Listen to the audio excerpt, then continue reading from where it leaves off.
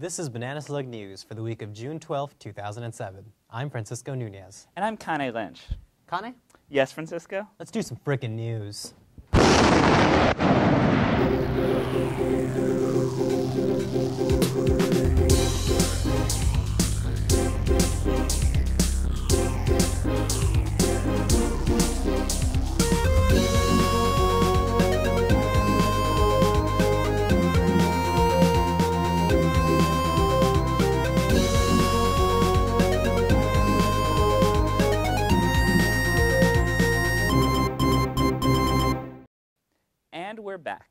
It's the end of the academic year, and we all know what that means. That's right, Kane.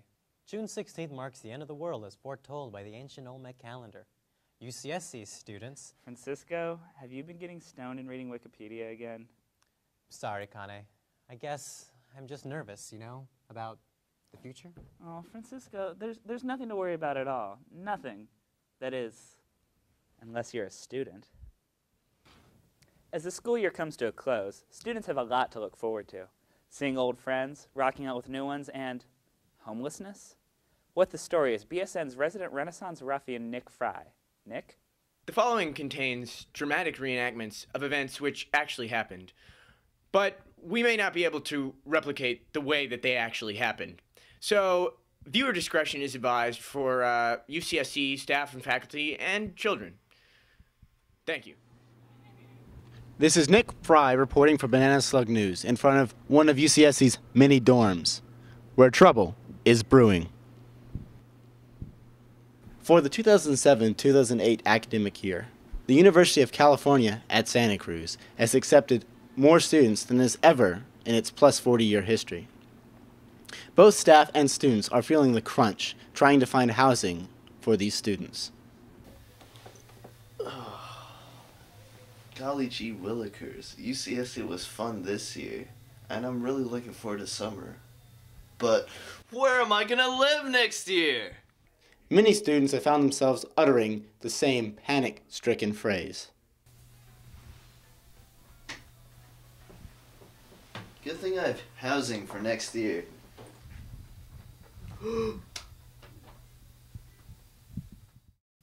I'm denied housing, but I'm guaranteed. I am very upset. I do not have a house, and I've been trying to look off campus, but the campus jerks up there are not letting me live on campus. So I am very upset. Um, for me, I am not guaranteed housing, so I have to go off campus, and it's been extra difficult just because there's so many students looking off campus. So all the places that I've gone to and checked out, there's usually 30, 40, 50 different uh, groups of people looking for that same place. So even though I might be trying to be as most excellent as I can, there's always someone that beats me.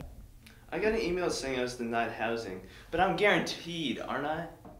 Well, yes, you are guaranteed, but unfortunately, we can't offer you housing for the coming year. Is there a method to this madness, or is this just institutionalized racism? There is a method to the madness, but I have no control over it, and neither do you.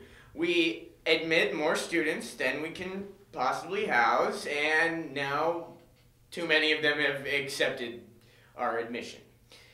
So there's nothing that you or I can do about it, but you can try and uh, find a place to live off campus. Uh, there, there are plenty. Trust me. I, I live off campus, for example. Well, I really wanted to live on campus this next year, but unfortunately, because of the housing crisis, I was unable to get a room here in the apartments. I was really pissed because, okay, I turned the application three minutes late, but granted, I thought I was gonna have a place to live, and I didn't. So I was forced to move off. I had to find a place to live on campus. I don't even have. With the dormitories and the apartments full, and most off campus housing already taken up by upperclassmen, some of us may have to rough it.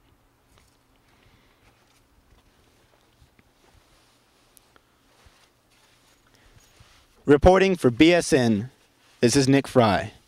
Back to you. An immigration bill that would have allowed millions of now illegal immigrants to stay in the country legally was shot down by the Senate last Thursday by a margin of 45 to 50. While the plan was supported by President Bush and by the majority of Democrats, disputes over proposed amendments resulted in a bill that left both parties unsatisfied.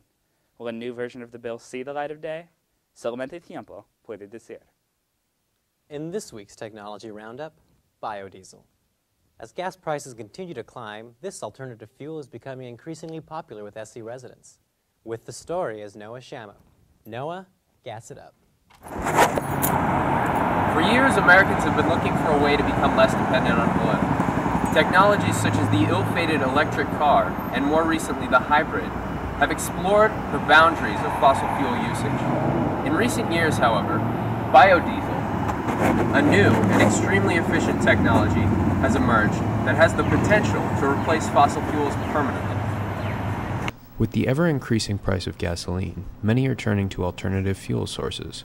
One such alternative is biodiesel, a fuel that is used in diesel based vehicles but is made from organic material instead of fossil fuels.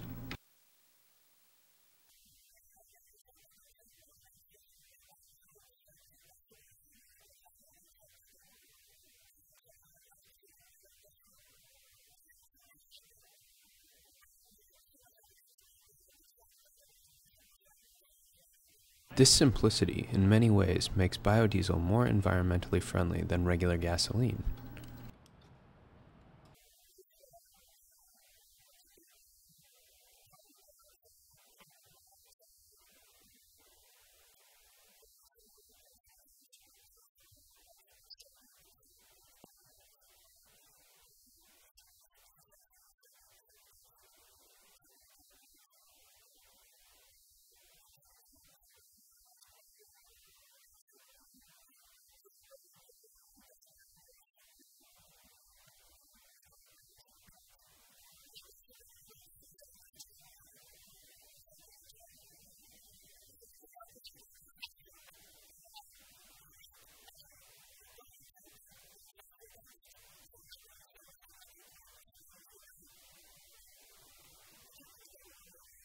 The environmental effects, however, are only one aspect of what makes biodiesel a better fuel source than gasoline. Not only this, biodiesel cars have better fuel economy. Uh, my car gets better gas mileage on biodiesel. Um, sometimes I switch back and forth depending on where I am. Sometimes there isn't always biodiesel, but when I go back on biodiesel, I always get better gas mileage. As well as better resale value. The availability of diesel passenger cars, and as you can tell if you go on Craigslist and search for them, they don't drop in value for like three, four years. Normally you drive a car off the lot, and as soon as you take it off the lot, it goes down by 8% value. And with diesel cars, they're not. Although a smart choice for the consumer, it is unlikely that biodiesel will replace oil as the main source of fuel in the United Uh, States. So the way biodiesel is made now from vegetable oil, uh, the, it's called the feedstocks. Feedstock for biodiesel is vegetable oil, and the amount of vegetable oil that's produced in the United States isn't enough to feed the need for all the diesel fuel consumed. So perhaps if they start making it from algae, um, which is supposed to produce a lot more gallonage per acre, uh, then maybe there will be enough uh, to fuel all the diesel vehicles in the United States. But as of right now, biodiesel is not the be all end all. It's not the absolute best way we could possibly fuel our vehicles. But right now, it's definitely better than petroleum diesel, which is the other alternative. Despite this, biodiesel still remains a smart choice for the consumer.